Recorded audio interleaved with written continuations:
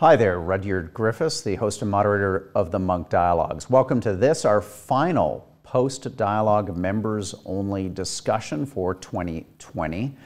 Over the course of the year, we've had a variety of conversations with people after all of our main stage uh, Munk Dialogues, really focusing on uh, providing a Canadian perspective on the issues that we've been tackling as a regular guide to uh, this program, uh, to me personally, and to, I think helping all of us uh, think through the big issues and ideas that have been raised in this program. We've been exceedingly fortunate to have Janice Gross Stein. She's a professor of conflict management at the University of Toronto, a founding director of the Munk School of Global Affairs, internationally best-selling author, Massey lecturer, the list goes on.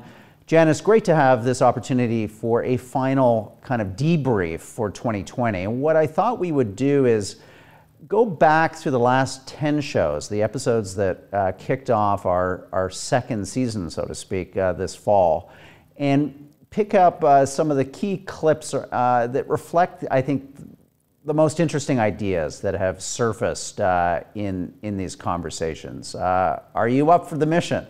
I sure am, and you know it, it is really interesting, Rudyard, uh, for the mission that we started, and we were uh, deep in gloom. I think by the time we come to the end of these ten dialogues, there's some rays of hope. There certainly are.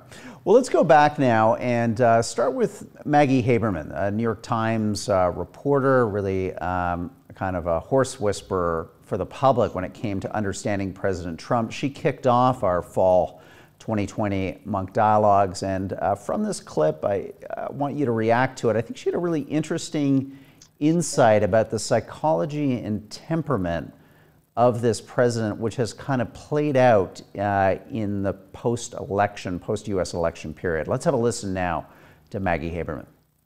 If you look at this through the lens of whether Donald Trump is really going to do anything he can to cling to power, which is the statement that gets said over and over again. I don't happen to share that view. I think that Donald Trump is very good at redefining what his idea of winning is, I think there's a real question about how much longer Donald Trump actually wants to do this job because I don't think he is enjoying it. I think I don't think he's enjoyed it for a very long time. I think he likes being. I think he likes the title president. He likes. I mean, I'll give you a for instance. I once asked a friend of his in 2017 if the president was liking the job. And the friend said, Oh, absolutely. And I said, What about it? And they said, Oh, you know, Air Force One, Air Force Two, Marine One. I mean, he likes, I think, the trappings that come with it. I don't think the day to day is something that he is particularly built for. So, Janice, now some people would say, well, you know, he is fighting to stay on, but I think there's a more interesting subtext here that his fight post election to stay on isn't really about staying on as president. He knows that ship has sailed. It's about creating the preconditions for him with his base and maybe with him in his own kind of unique mind to think that he didn't lose, that he's not the loser. Do you agree that Maggie Haberman was on to something really important and prescient in that uh, quote?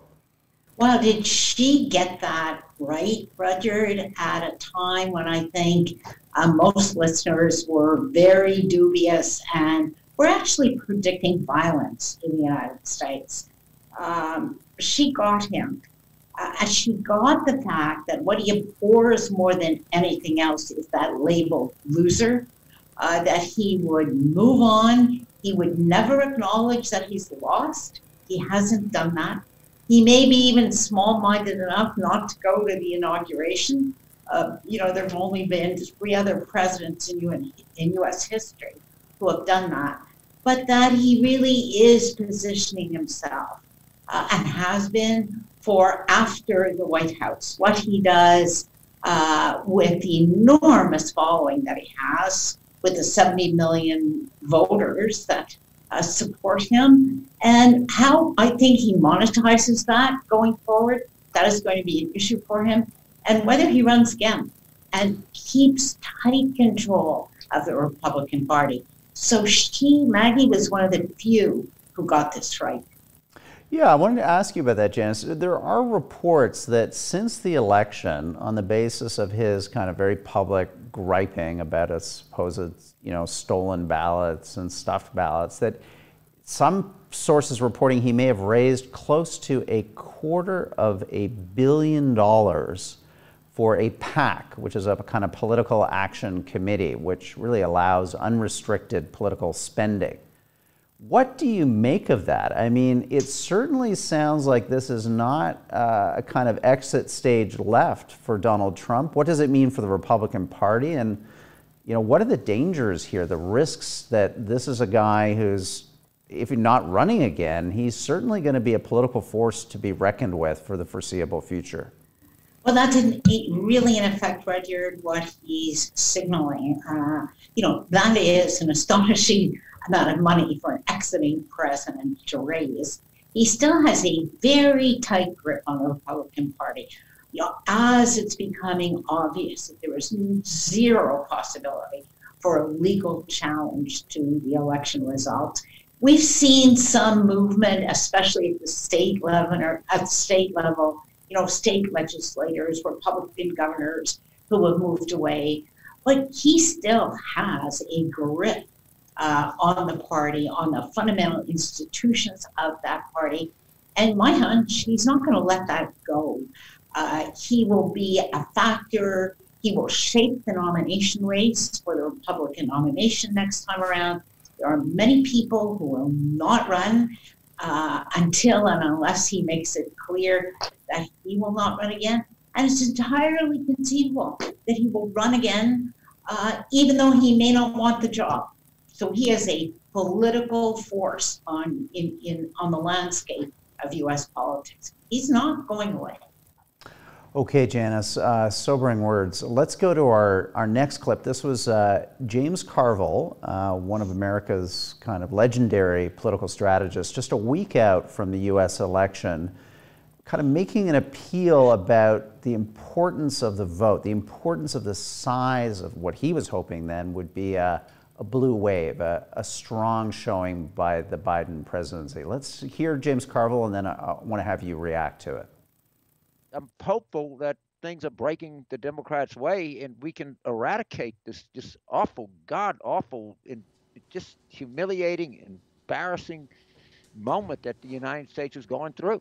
It, it, it it's, I'm just really torn up about it. Uh, I've worked in, as you point out, I've worked in 22 different countries, and literally every place that I've gone, uh, you know, people like the United States. I mean, I think we are kind of big and sometimes, you know, clumsy and, you know, can be full of ourselves, but basically like what our country is and what it stands for. And then we had this. So uh, I'm not very shy about my opinions of what's happening to my country, but I, I think that we're on the verge of a real breakthrough here. I, I, I think our darkest hour is going to turn into our finest hour. I really do. So, Janice, that big breakthrough didn't happen. In fact, no. Trump surprised, uh, surprised with a lot of minority voters. Um, the Republican Party enjoyed significant down ballot support. In fact, uh, you know, thwarting Nancy Pelosi's hopes of adding seats uh, in the House of Representatives. W where does America come out of this election? You know, is it still reputationally kind of damaged internationally by this? Do you think the cup's half empty, half full? What's, what's your take on the impact, the legacy of this election? It's probably half full, but it's certainly not as full as James Carville would have liked, rather. It's half full because there was a really um, serious uh, and prolonged challenge to the institutions of the United States, and they helped. Uh, and I think that's an important point to make. Uh, and that sometimes gets lost in all the noise, but those institutions really help.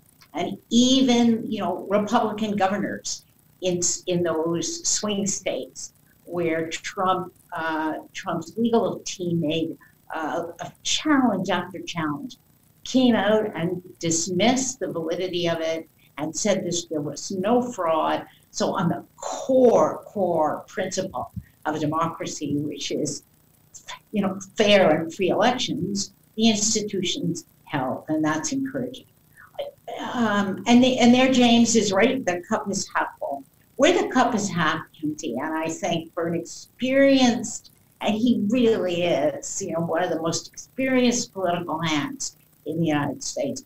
Where he got it wrong, and this tells us something about the future too, Rudyard, where he got it wrong, he underestimated the appeal that Trump like populism has in the United States right now.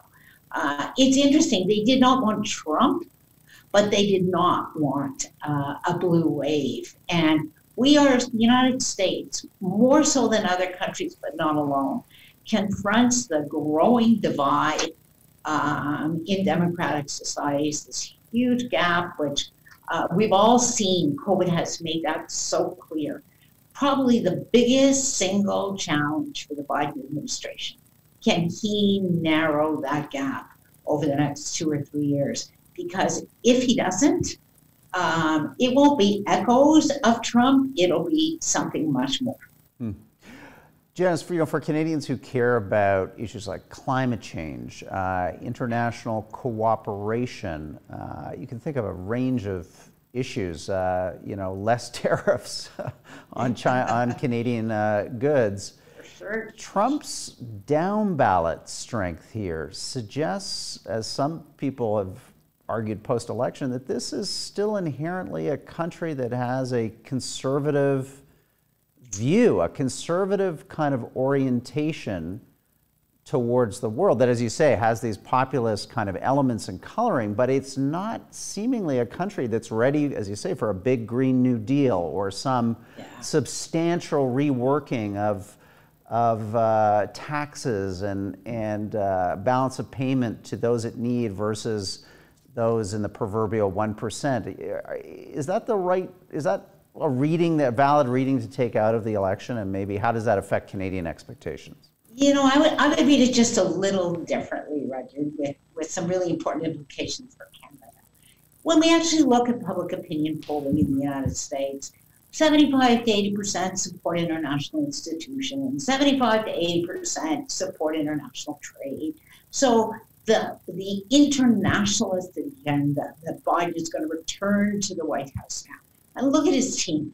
Uh, they are virtually all Clinton Obama people, with, with, with largely women are the exception to that. He has really uh, put teams of very accomplished women in place. But these, the, they, this team will follow an agenda that is very congenial international to a Canadian government. It's going to be a much easier ride internationally for us. But what it, where we make a mistake, the division you're talking about is internal, um, on, inside the United States. It is all about access to jobs. It is all about a better distribution of income. It is all about, um, you know, deaths of despair in the United States. It is all about distrust of U.S. institutions by an alarmingly large percentage of the population. So Biden, unlike other presidents, will have to pay attention to what is going on inside the United States.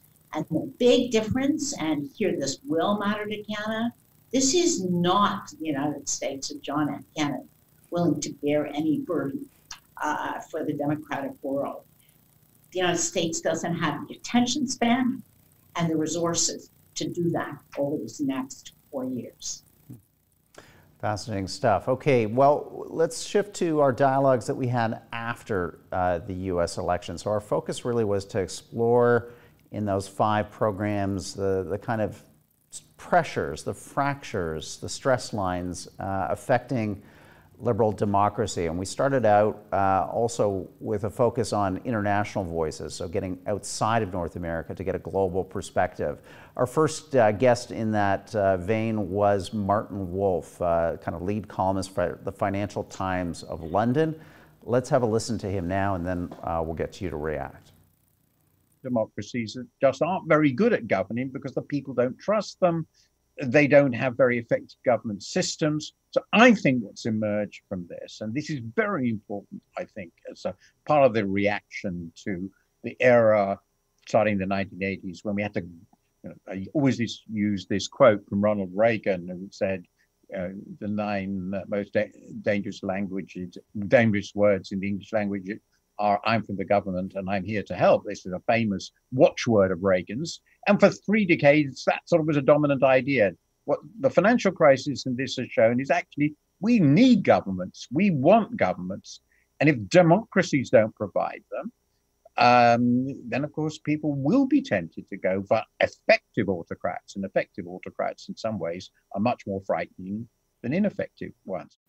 So, Janice, I, I think that's a really important point that Martin's making here that the threat to liberal democracy isn't from these kind of incompetent autocrats like um, Viktor Orban or Vladimir Putin or you know possibly the likes of Donald Trump, depending where your politics lie. It's really from a regime like China, which can, shows how an effective autocrat can take an immensely complicated, multifaceted problem like a pandemic and effectively eradicate it in a matter of weeks, reopening its economy, ensuring uh, prosperity, and uh, doing so at minimal uh, fiscal and monetary cost as compared to Western democracies. What's your take on that insight? You know, what a smart comment by Martin. Um, because he sets the big arc here, Reggie, that's starting really in 2008 and certainly exaggerated by the pandemic. People understand now they need government. Uh, so this, he demarcates, and he's so right. The end of the Reagan Thatcher era, that era is over all over the world. Uh, and, but then he goes on and makes this interesting comment. Well, if democracies can't do this in an efficient way, where efficient autocrats are going to do that. And that is really the story of the Chinese response. You know, their economy is growing again. It's probably the only one that uh, has emerged uh, and is in the post COVID recovery. You see pictures of Chinese cities, there's no lockdowns. They haven't eradicated the virus, by the way. Uh, there are still recurrent small outbreaks that they're managing, but they are in the post COVID recovery. But how did they do this, Reggie? They did this with the most invasive use of technology that we have ever seen. And they were going down that road beforehand. They had social credit scores where, you know, if you crossed against a traffic light, uh, cameras would pick it up, use facial identification, uh, identify you, Rudyard, and you would have a, a demerit point on your social credit score. And if you got past a certain point, couldn't travel, a whole series of consequences. You know, during COVID, how did they do this? They physically locked people in their houses, padlocked doors, delivered food to the front door, would wait till it opened, put the padlock back on. So, yes, there is an efficiency that allowed them to recover that way, but this is a price that no democratic society is going to pay. And coming out at the other end, there is a price that efficient autocracies play. They are very rarely uh, on the leading edge of the innovation curve. They're very rarely on the edge of the adaptation curve as well. And what you see, and Miss Martin didn't talk about, what you see in China is a persistent level of fear now uh, arrest of dissidents, arrest of critics. The space is narrowing all the time. Ultimately, uh, in history, that has proven a curse uh, for leaders who get shut off from critical information that they need and do less and less well over time. So mm. I disagree with him there. Mm. I mean, two quick counterpoints. One, I think uh, China just announced this week a quantum computer uh, processing at multiple speeds faster than uh, Google's system, which at this point was yeah. the fastest system in the West. So I'm not so sure they're all that far behind uh, in the technological curve. And I guess what, what worries me more, though, Janice, just to make this point, worries me more, though, is the, the kind of corrosive effect that the China example in the COVID world just has about our own sense of certainty in our system. I mean, I think we all agree that we don't want to be hubristic about liberal democracy. We don't necessarily want to assume that its values are universal values that should be, uh, you know, foisted on everyone. But at the same time, you need to believe what you believe in. And, and I, I worry in my casual conversations, maybe you've had these too, over the last you know nine months that people are starting to question. They're starting to wonder, well, why do we put up with all of these kind of you could think somewhat bizarre trappings of liberal democracy? You know, why is the the minister of industry some MP from a riding in the middle of you know wherever in Canada? Like, why is that person qualified to be the head of our industrial policy in Canada? The Chinese would never make that that type of decision.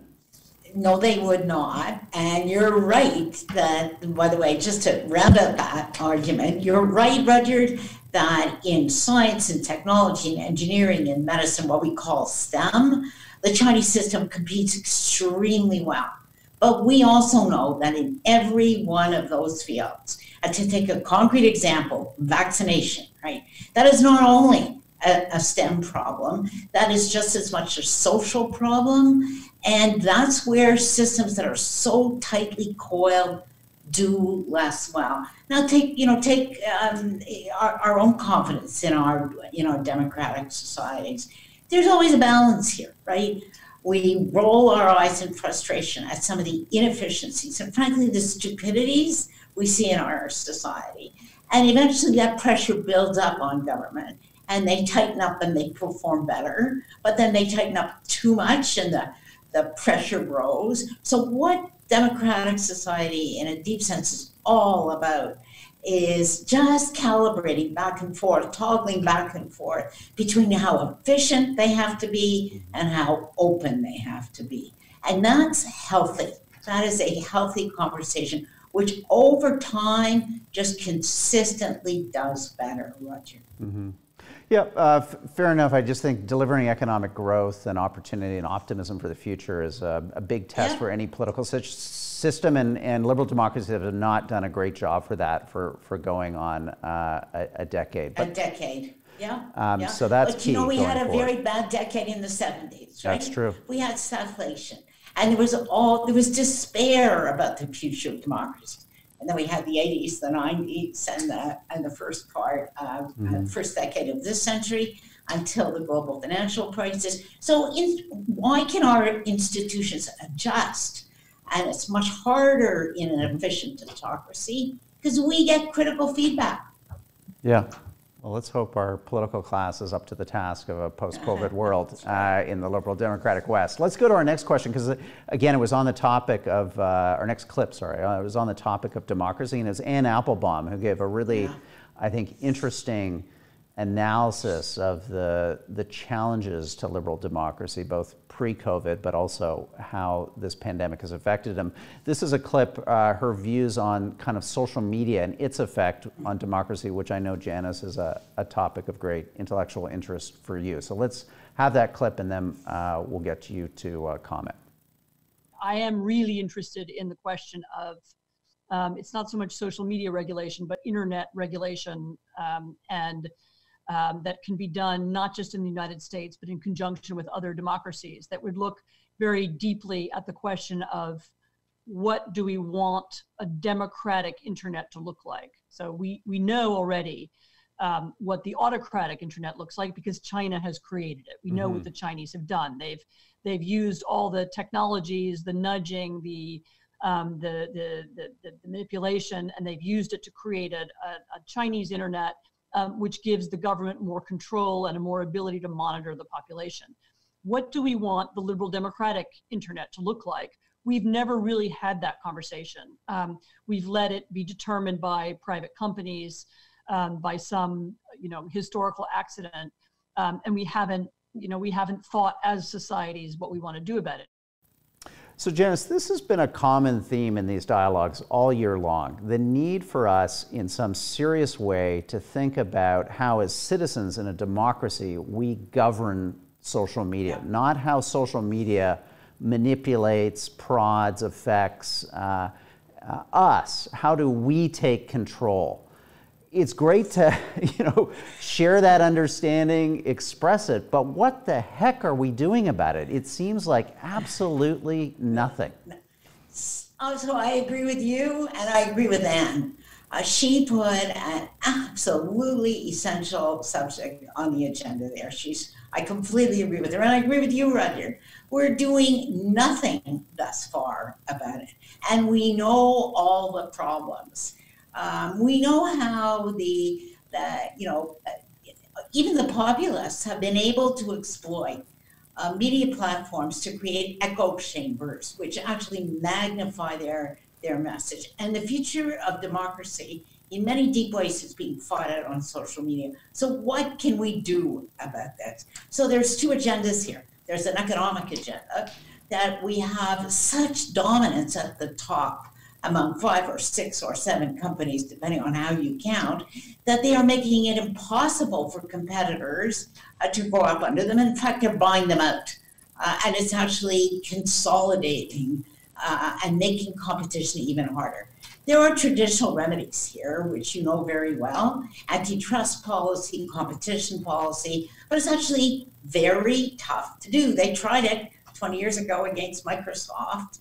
Uh, and breaking up big behemoth companies into their component parts is hard to do. But that doesn't mean that there's just not a series of intermediate arrangements along the way where we stop these big companies from buying up smaller competitors as they are moving up. For instance, is it okay for Facebook to buy Instagram?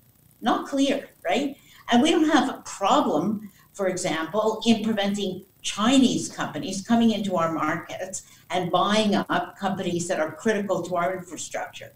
And governments managed to get their head around that. So Anne is right to put this next piece, the economic challenge, that um, is, is obvious to anybody looking at the social media landscape. How do we democratize that? How do we enable fair competition going forward? Mm-hmm. The second piece, what are some reasonable rules?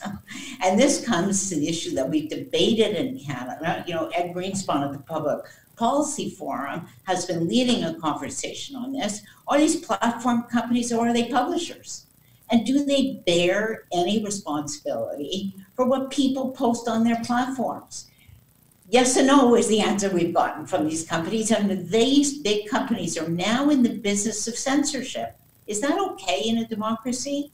Or do we, in fact, need an arm's length regulator that makes some rules about fact checking uh, and, uh, and hate speech that govern what a platform company can allow to go up? This, these are not impossible problems, but governments have to move on this. She is completely right.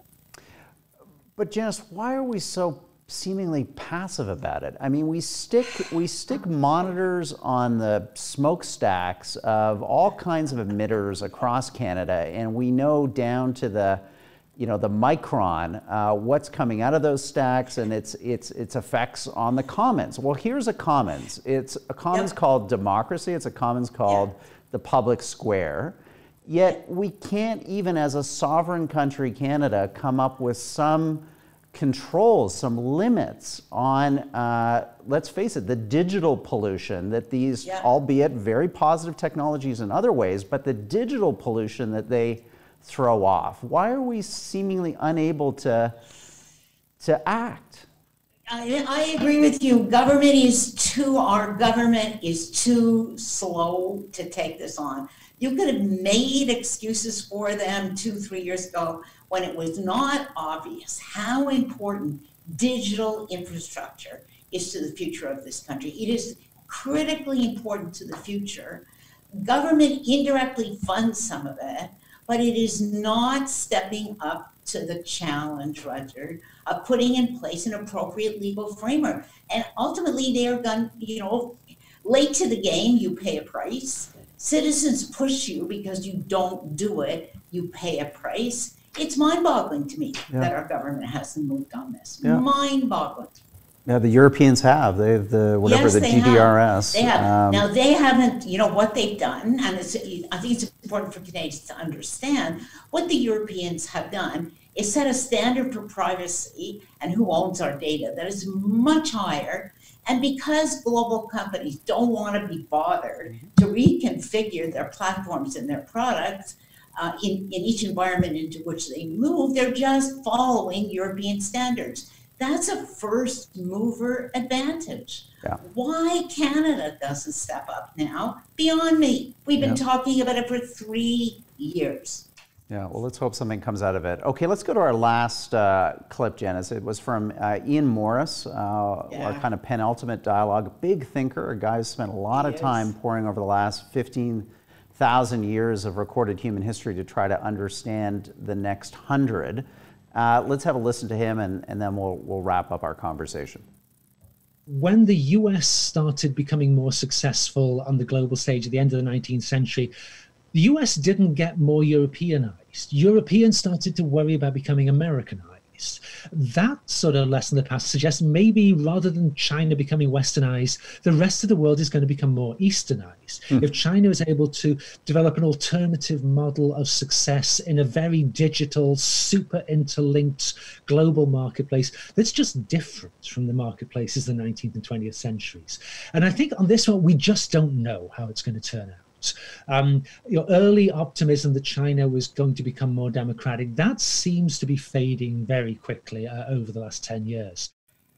So, Janice, that kind of pulls together a lot of the threads that we've just talked about uh, in the last half hour, which is liberal democracy, uh, the rise of China, uh, the post COVID world. Um, where do you see the global balance of power, the kind of the fulcrum around which history will bend itself for the remainder of this century? Has that moved, and Well, and and with what it- speed is that it- changing?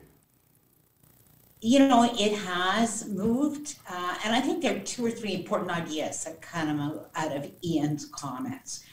Uh, the first is history's moved fast as a result of COVID. Uh, we say all the time, COVID has pushed history forward 10 years.